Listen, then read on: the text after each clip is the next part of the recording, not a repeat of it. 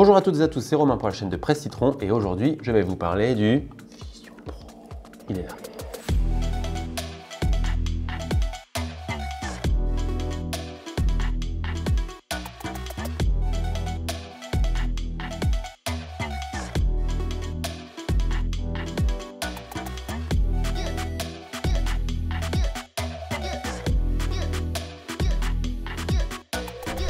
Sais que ce n'est pas la première fois que vous entendez parler du Vision Pro, il y a d'autres confrères qui ont déjà présenté leurs vidéos. Je sais qu'on arrive un petit peu tard, mais c'est pas grave, mieux vaut tard que jamais. Et en plus, pendant tout ce temps, bah, on a pu prendre un peu de recul sur cette magnifique machine qui est bon, très élégante, hein, mais qui, vous allez le voir, est pas vraiment, vraiment aussi révolutionnaire que Apple nous le dit. Allez, c'est parti. Alors je ne vais pas m'attarder sur toutes les caractéristiques techniques du Vision Pro. Je vous invite d'ailleurs à consulter la vidéo de mes confrères de 01net qui ont déjà publié une vidéo au tout début de l'aventure Vision Pro. Et il y a aussi le journal du geek si vous voulez voir la vie de Anne sur ce produit. Allez-y, c'est les copains, ça fait plaisir. Donc pour la partie technique, en gros, hein, je vais un peu répéter euh, ce qu'on a déjà entendu. Apple a mis tout ce qui existe de mieux dans ce casque. Il y a les meilleurs capteurs, les meilleures caméras, il y en a un nombre incalculable, il y a une interface flamboyante, on peut voir tout ça grâce à des optiques qui sont les meilleures du marché là encore. On a un écran en façade qui pour moi est pas indispensable et qui peut-être fera l'objet d'un vision pas pro plus tard et qui permettra de réduire le coût. Parce que pour l'instant l'écran en façade il permet juste de retranscrire les yeux du persona. Et puis on a quand même un produit qui respire la qualité, c'est des matériaux nobles, de l'aluminium, un système d'attache qui est quand même hyper bien fait, même si pour mieux le tenir sur la tête, je conseille d'utiliser le support qui va venir au-dessus de la tête, qui permet quand même de bien reposer les cervicales. C'est un super beau produit. Le seul hic, c'est sa batterie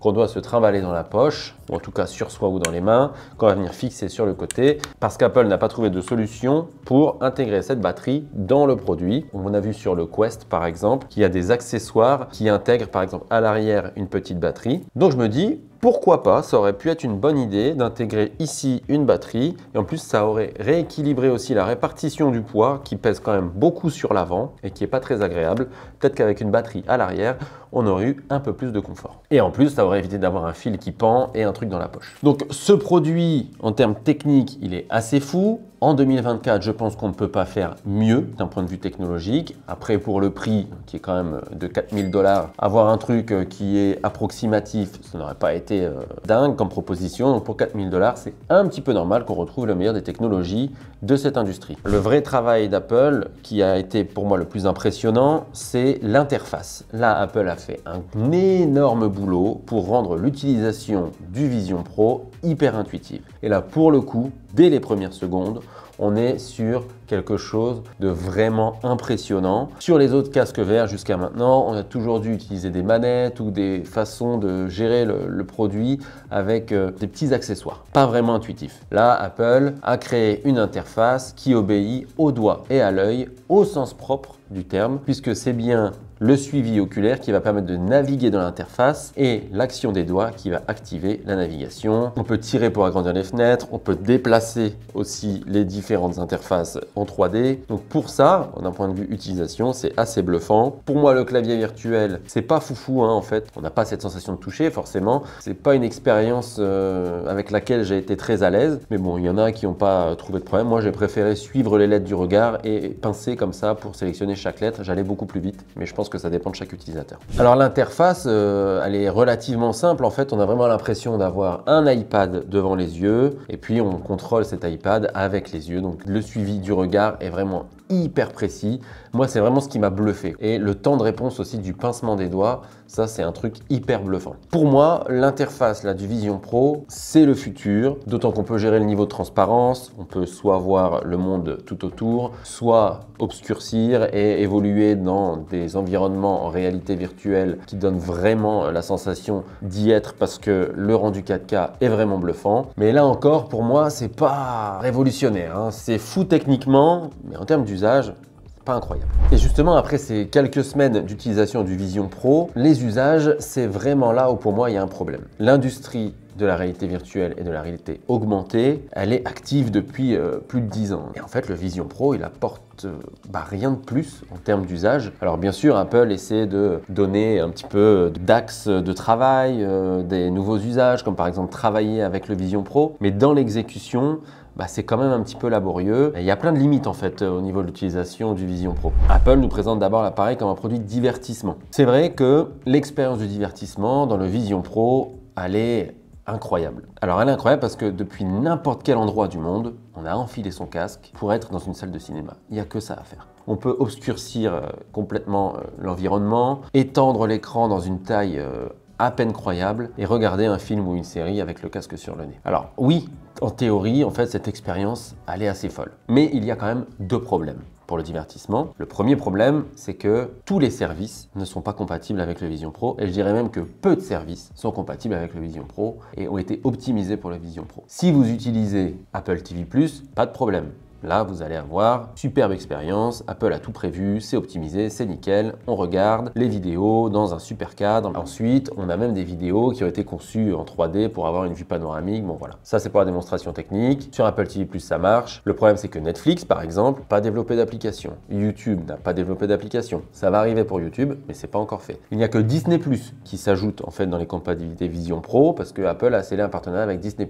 Mais au-delà de ça, en fait, il y a pas d'autres services. Donc pour accéder à ces autres services, pour regarder Netflix sur le Vision Pro, vous devez ouvrir Safari, ouvrir votre compte Netflix, naviguer comme sur n'importe quel autre site et ensuite lancer votre vidéo. Et vous aurez une vidéo comme celle que vous avez sur votre ordinateur en 2D devant les yeux avec un écran agrandi. Alors oui, bien sûr, c'est beaucoup plus immersif, mais c'est pas vraiment optimisé avec le casque. Il n'y a pas d'audio spatialisé sur Netflix, par exemple, et du coup, ça enlève beaucoup d'intérêt dans le divertissement avec le Vision Pro, d'autant que le Vision Pro, c'est un casque qu'on utilise seul, et du coup, c'est une expérience de divertissement seul. Et ça, j'y reviendrai en fin de vidéo, mais c'est un produit vraiment solo, isolant, qui nous met dans une bulle dans laquelle on est peut-être déjà avec nos smartphones, mais j'y reviens juste après. L'autre promesse d'Apple avec le Vision Pro, c'est la productivité. D'ailleurs, Apple n'a pas appelé ça un casque d'AR ou de Apple a appelé ça l'informatique spatiale, donc l'informatique de demain, le futur de l'informatique, lâchez vos Mac et utilisez le Vision Pro. Pour l'instant, ce n'est clairement pas possible, et d'ailleurs, comme un aveu de faiblesse, Apple propose une fonctionnalité qui permet, avec le Vision Pro,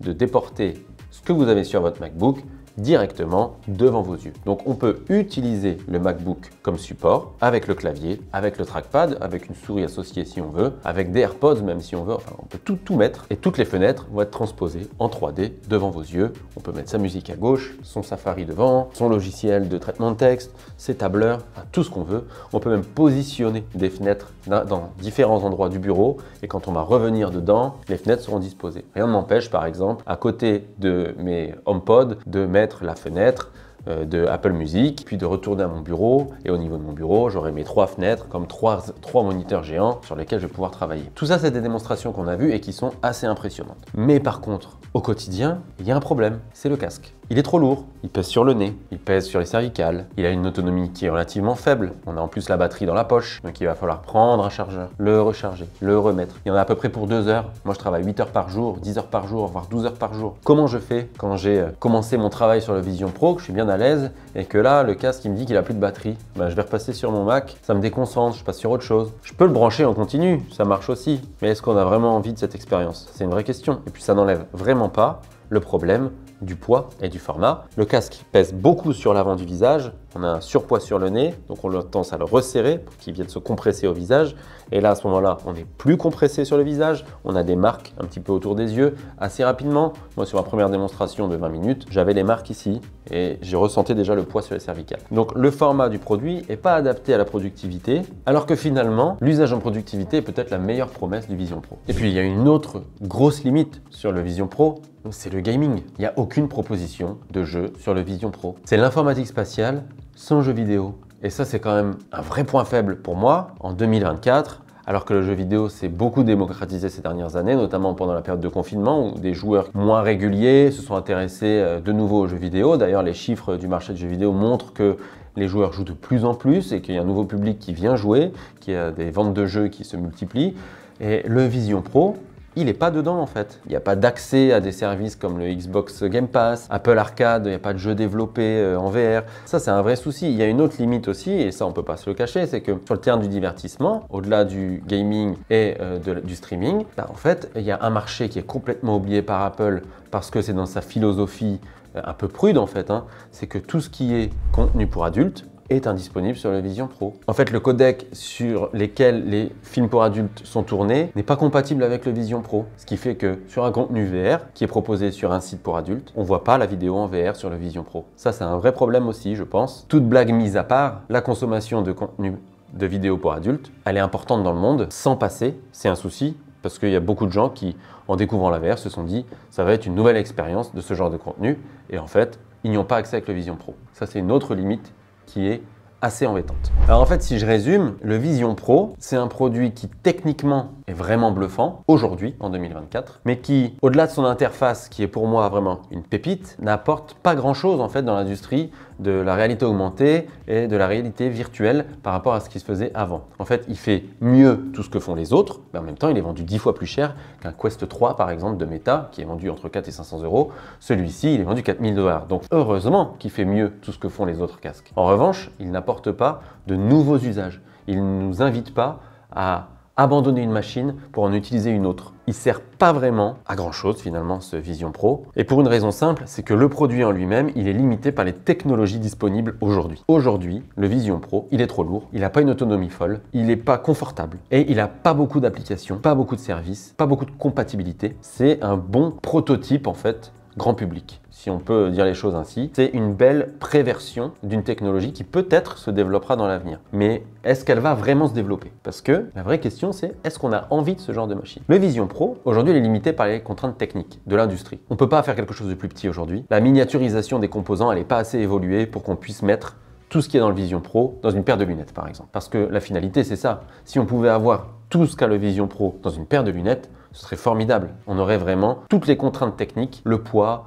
euh, l'encombrement, euh, toutes ces choses-là, ça disparaît. Mais au niveau des usages, c'est pas encore assez évolué. Alors oui, les développeurs peuvent travailler dessus. D'ailleurs, il y en a plein qui s'y sont mis. Ils vont développer des applications qui vont rendre le Vision Pro beaucoup plus intéressant au fil du temps. Mais est-ce que les gens ont envie d'utiliser ce produit? Parce que le fond du Vision Pro, c'est que c'est un produit qui nous isole. On l'utilise seul, et même si on a une ouverture vers notre univers tout autour, on reste seul dès qu'on l'enfile sur la tête. Et en 2024, peut-être pas dans tous les milieux et dans toutes les populations, il y a un mouvement qui s'est créé, un mouvement de déconnexion, parce qu'on s'est rendu compte de tous les défauts et de tout le côté pervers que peut avoir la technologie dans notre quotidien. Le smartphone, qui était censé devenir un outil pour nous aider, en fait, on est devenu un petit peu son esclave. Et pour certains, on est même vraiment devenu très esclave du smartphone. Alors, peu importe les raisons, il y a plein de choses qui ont été mises en place. On a bien vu tous les documentaires sur euh, les réseaux sociaux qui ont eu recours à des neuropsychologues pour déclencher des sortes de réflexes pavloviens, des récompenses, etc., pour nous pousser à retourner sur notre smartphone. Donc déjà aujourd'hui, c'est très dur de se décoller de son téléphone. On voit les effets pervers de la technologie. On voit que la technologie, au lieu de nous ouvrir autres, nous a aussi pas mal isolés. Est-ce que on a envie d'un produit qui va nous isoler encore davantage? Est-ce qu'on a envie d'être chez soi et plutôt que d'avoir le téléphone dans sa main qui nous isole déjà? Parce qu'aujourd'hui, on a quelqu'un à côté de soi, on le voit au restaurant, on peut avoir deux personnes au restaurant et une personne qui est sur son téléphone comme ça pendant que l'autre parle dans le vide. Déjà là, il y a un petit problème de communication, mais imaginons que le fait d'avoir l'objet là, dans les mains, ça, ça crée une barrière physique. On la voit, cette barrière physique. Le Vision Pro crée une autre barrière physique. Et c'est pas parce qu'on voit les gens qu'on est attentif. Par contre, quand quelqu'un regarde son téléphone, on voit qu'il n'est pas attentif. Qu'est-ce qui nous dit que la personne qui a enfilé son casque n'est pas attentive ou l'est? Ça, c'est un autre problème. Alors la question, c'est est-ce que, alors qu'on se rend compte que la technologie nous a isolés davantage des autres, est-ce qu'on a envie d'aller encore plus loin dans le progrès technologique pour nous isoler encore davantage? Est-ce qu'on ne devrait pas apprendre aussi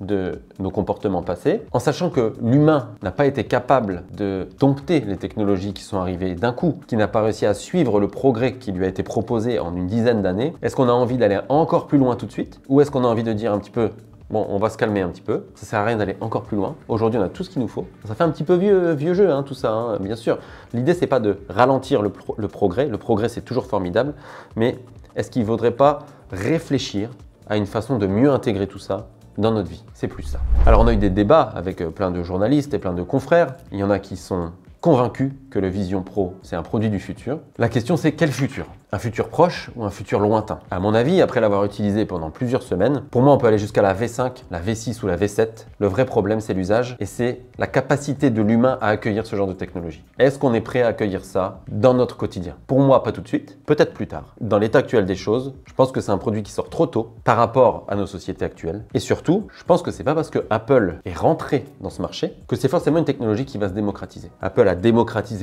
beaucoup de choses. Le plus gros symbole, c'est l'iPhone. Mais c'est pas parce que Apple a réussi ça une fois que chaque produit qu'il va lancer va se démocratiser comme ça, comme une traînée de poudre. Ça a marché pour l'iPhone, ça a marché pour les AirPods, mais il y a aussi plein de produits qu'Apple a lancés et qui ont été des échecs. Je pense par exemple au Newton, qui était une machine surpuissante, technologiquement hyper impressionnante, comme ce Vision Pro, et qui finalement n'a pas trouvé son public. Donc l'avenir nous dira si le Vision Pro est bien produit du futur. À l'heure actuelle, pour toutes les limites que j'ai évoquées dans ce test, ce n'est pas le cas. Et j'ai du mal à croire que d'ici 5 ou 6 ans, cette technologie et les usages qui l'accompagnent vont être accueillis par le public à bras ouverts. Mais ça, c'est que mon avis, et peut-être que vous en avez un autre. Si vous en avez un autre, n'hésitez pas à le mettre dans les commentaires et à expliquer pourquoi vous croyez, vous, que le Vision Pro est bien un produit du futur. Voilà, cette vidéo de test de l'Apple Vision Pro est terminée. Merci à tous et à tous de l'avoir regardé. Si ce format vous a plu, n'hésitez pas à le mettre dans les commentaires, ça nous encourage beaucoup. Mettez un pouce bleu si vous avez aimé. Les critiques sont aussi bienvenues. N'hésitez pas à mettre votre avis sur cette technologie qui fait beaucoup parler pourra échanger. Je réponds à tous les commentaires, donc allez-y. Je vous donne rendez-vous très bientôt pour une nouvelle vidéo. En attendant, si vous ne voulez pas louper, abonnez-vous à la chaîne et cliquez sur la cloche pour avoir une notification dès qu'une nouvelle vidéo est disponible. Merci encore à toutes et à tous pour votre fidélité. C'était Romain pour la chaîne de Presse Ciao. Allez, je retourne au boulot.